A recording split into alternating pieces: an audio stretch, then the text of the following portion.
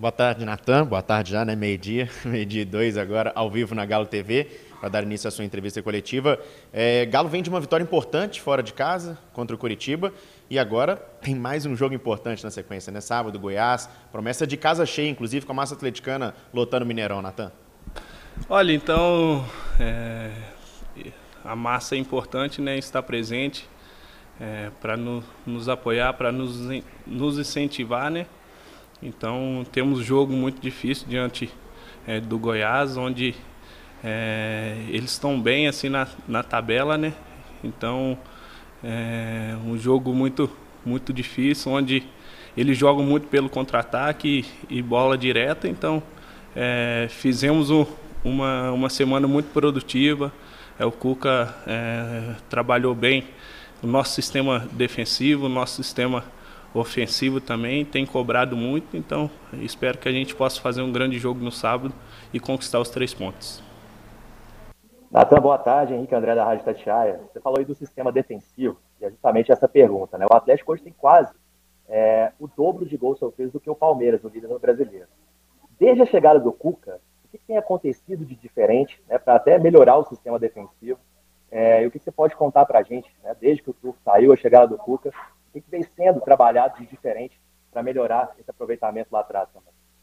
Bom dia, Henrique. Então, é, a gente tem trabalhado é, muito o nosso balanço, a linha de quatro, né? Então, é, às vezes no jogo você você tem que, que, orientar o seu companheiro, né? Então, estamos fazendo isso é, melhor, melhoramos nesse quesito. Então, onde temos é, dois jogos que não a gente não sofre gol, né? Então é, evoluímos nesse quesito. Agora é evoluir jogo a jogo, é, tanto o nosso sistema defensivo quanto o nosso sistema ofensivo. Então, porque temos um sistema ofensivo muito, muito poderoso, né, que pode fazer o gol a qualquer momento e a gente é, buscando não sofrer gols, isso é muito importante. Oi, Natan. Abraço para você, aqui é a Lima da Rádio Minas. Ô, Natan, é, para bater campeão, os matemáticos estão dizendo que serão necessários alguém chegar a 75 pontos. 16 jogos que faltam, então, o Galo teria que vencer 13, empatar mais um e só pode perder dois. Aí, entre vocês, jogadores, é, o ambiente é que vocês pensam que ainda dá para ser campeão brasileiro? É um sonho ou a realidade dura é mesmo ficar com o G4? Bom dia, Lima. É, há uma possibilidade, né? E nós aqui dentro é, do nosso grupo, a comissão técnica, é, tem visado muito jogo a jogo, né? Então, a nossa visão agora é o Goiás, é conquistar é, mais três pontos que, que pode nos colocar aí no G4 e pode nos aproximar é, do líder hoje. Então, é, temos uma esperança também. Então, é, a gente pensar jogo a jogo, temos que fazer a nossa parte, que é muito importante, conquistar esses, esses pontos, essas vitórias, para que a gente possa é, voltar a sonhar com, com esse título novamente. Bom dia, Natão. Bom dia, companheiros. Aqui é Vital, Rádio Inconfidência Rede Minas. Eu me lembro que quando o seu retorno ao Atlético, Natan, você veio, inclusive por indicação, por um pedido do Cuca, ele disse que confiava muito no seu trabalho. E aí, rapidamente, você chegou, assumiu a titularidade e não saiu mais. Queria que você falasse um pouquinho sobre o quanto este, esse retorno do Cuca ao Atlético pode contribuir também para que a sua confiança aumente, Natan. Bom dia, Vital. É um cara que que eu, que eu devo muito, né? Então, é, sou muito grato a, a ele. Então, é, ele voltou e me voltou é, para o time titular novamente, né? Então, onde eu tinha perdido meu espaço. É, agora, eu, ele tem uma, uma grande confiança em mim, né? Então, agora a gente tem, tem trabalhado, tem orientado a gente muito e, eu tenho é, melhorado a cada jogo, né? Evoluído a cada jogo, isso é muito importante. Claro, com a confiança do professor tudo se torna mais fácil, então é, é um cara que eu sou muito grato é, em menos de, de um ano e meio, né, eu pude conquistar grandes títulos aqui, então deixar o meu nome marcado na, na história do Galo, então é um cara que, que eu sou eternamente grato. Natan, boa tarde. Guilherme da Rede 98. Natan, no primeiro turno, ao contrário de 2021, o Atlético desperdiçou pontos preciosos dentro de casa, jogando no Mineirão. E no sábado a gente sabe que o Goiás deve ser uma equipe que vai jogar mais com a parte defensiva, vai se defender mais jogando diante do Atlético. Como que vocês projetam esse duelo de sábado? Boa tarde, Guilherme. É, como eu disse, né, o projeto um jogo muito difícil diante do Goiás. É, então, jogando em casa, é, somos muito fortes, né? É, com a massa atleticana nos empurrando, então é procurar ver os detalhes mais importantes da, da equipe deles, é, aquilo que a gente pode, pode usar a nosso favor também, que eles possa, que eles têm dificuldade, né? Então a gente tem que observar, trabalhar em cima disso para a gente fazer um grande jogo no sábado e conquistar os três pontos. Natan, boa tarde. André Repsúdio, do canal Vinegro. Natan, eu gostaria que você explicasse, no seu ponto de vista, o que ocorreu que com o Turco não deu certo, né? E porque com o Cuca lá atrás deu tão certo. O que, que aconteceu ali que o Cuca não conseguiu fazer esse Galo jogar? Essa zaga teve uma pior acentuada. O que, que aconteceu aí no seu ponto de vista? A forma de jogar mudou muito? O que, que acontece? Boa tarde, André. Olha, cada técnico tem sua mentalidade, né? A sua forma de trabalhar. É, com o Turco, nós conquistamos a Supercopa, conquistando, conquistamos o, o Mineiro, né? Então, é, o trabalho dele também foi, foi muito bom. É, então, é, foi opção da diretoria, né? Então, é, mandar ele embora. Então veio o Cuca, onde tem é, total confiança no nosso grupo, onde conhece o nosso grupo né, muito bem. E quando o Turco chegou, ele não conhecia é, quase nenhum jogador, então isso é muito difícil para o técnico. Então a, a nossa cabeça hoje está voltada aqui para traba trabalhar bem durante a semana, para a gente pensar jogo a jogo, é, porque o Cuca chegou e tem nos dado muito confiança. Boa tarde, Natan. Marcela Murim, da Rádio Elo Sabará e Elo Santa Luzia. Natan, a estabilidade com o Cuca é notória na defesa. Repetir a zaga Natan Júnior Alonso já é o princípio da, da estabilidade ali e o ponto de equilíbrio na, no meio de campo para a defesa ali, porque o Hulk saiu num dos jogos aí, dando uma, uma artilharia aí no, na zaga ali, principalmente o pessoal subindo para poder decidir os jogos? Boa tarde. É, nós dentro do, do grupo, né, a gente conversa muito é, no, que, no que temos que melhorar, no que temos que evoluir, né? E temos trabalhado isso dia a dia, é, onde o professor Cuco tem batido muito, porque temos criado muita chance, né? E às vezes não temos é, convertido a, a, nos gols. Então, é, é, ter mais calma, é, é, ter a cabeça mais fria, mais concentração para a gente é, fazer bons resultados e buscar a vitória a todo momento.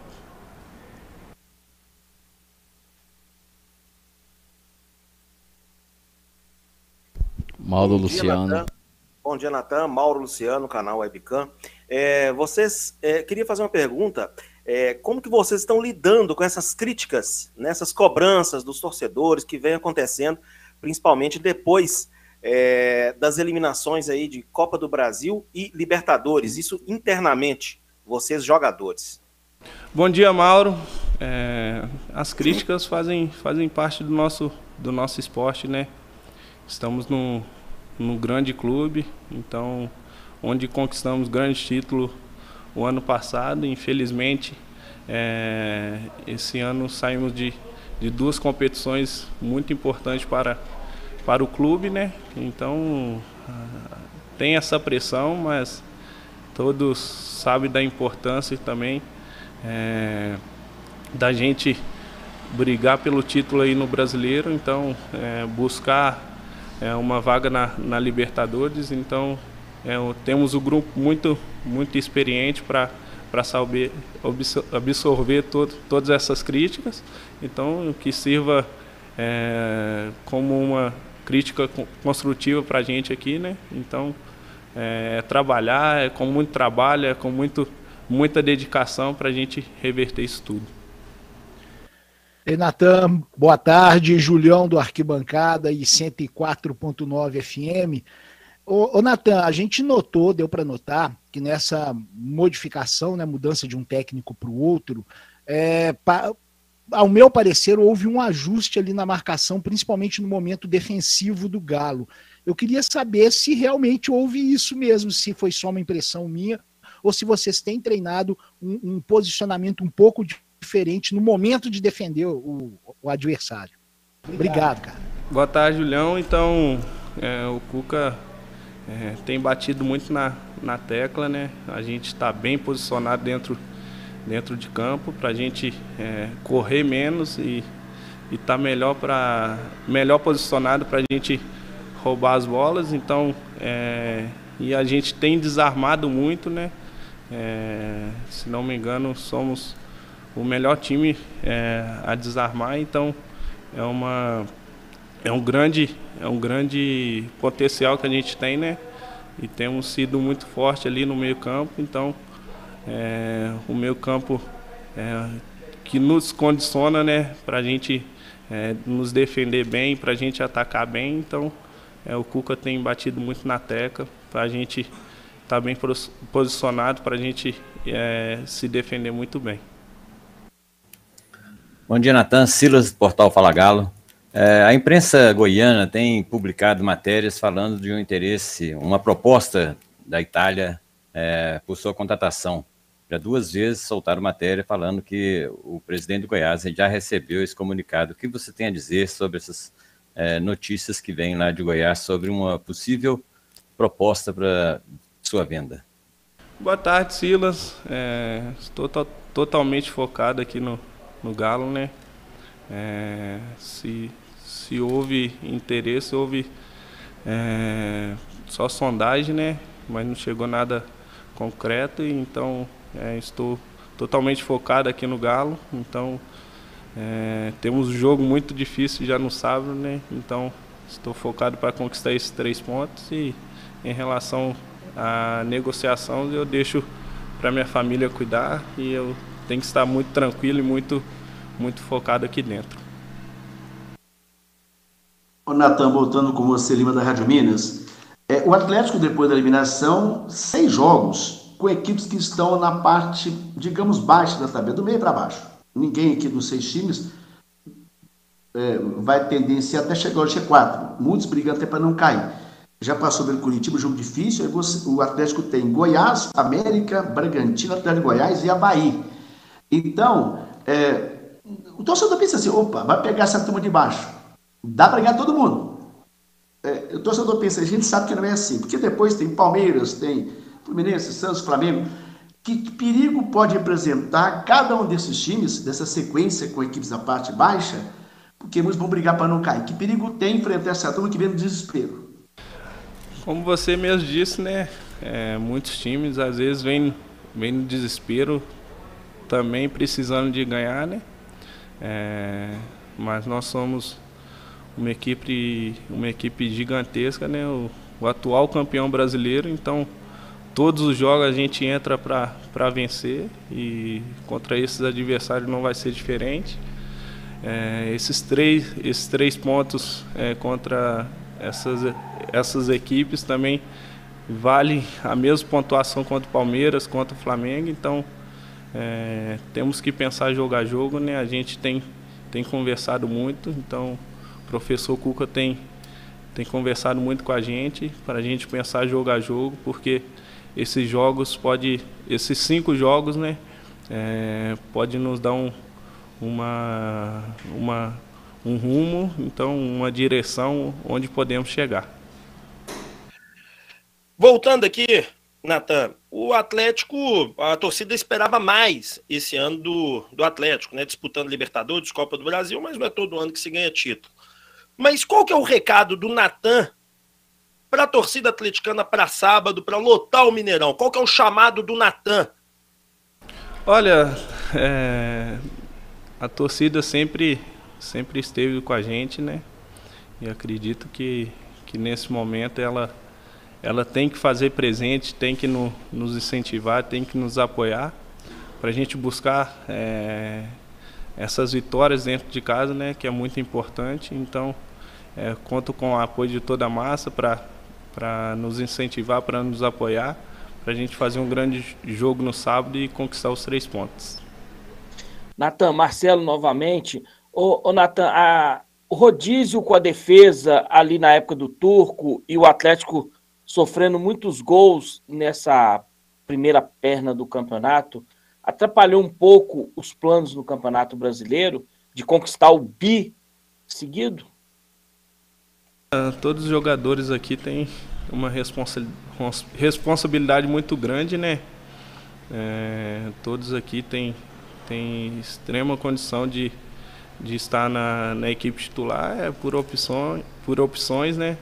Então são escolhas que, que tem que fazer, é, porque só joga só, só 11, então é, num grupo tão qualificado assim, todos são muito importantes, então é, a gente tem trabalhado muito para a gente melhorar em todos, todos os quesitos que, que a gente apresentou no ano passado. Natan, novamente, Silas, Portal Fala Galo. Você achou justa a sua escalação para o banco na, com, com, o Turco e agora o retorno é, para a posição de titular? Também achou justa essas duas situações, tanto quando você foi para o banco quanto agora assumir a titularidade novamente?